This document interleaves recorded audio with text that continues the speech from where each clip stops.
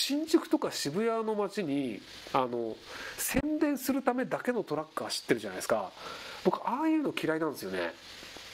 あの要はその道路ってあの共有地としてその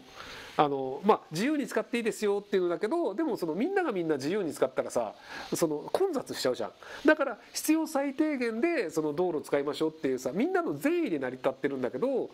その渋谷とか新宿とかでさそのわざと人通りが多いところでノロノロ走ることで宣伝効果にしてるのってそのみんなの善意を悪用してるじゃん。でそれが法に触れるんだったら別にあの法に触れるリスクを背負ってやってるから、まあ、それはそれでそのなんかリスクテイクしてるからいいよねって話なんだけどなんかそのリスクテイクをするわけでもないしその。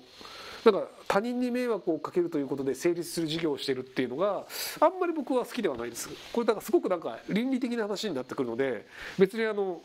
法に触れないんだからいいじゃんって言われたらはいその通りですって話なんですけど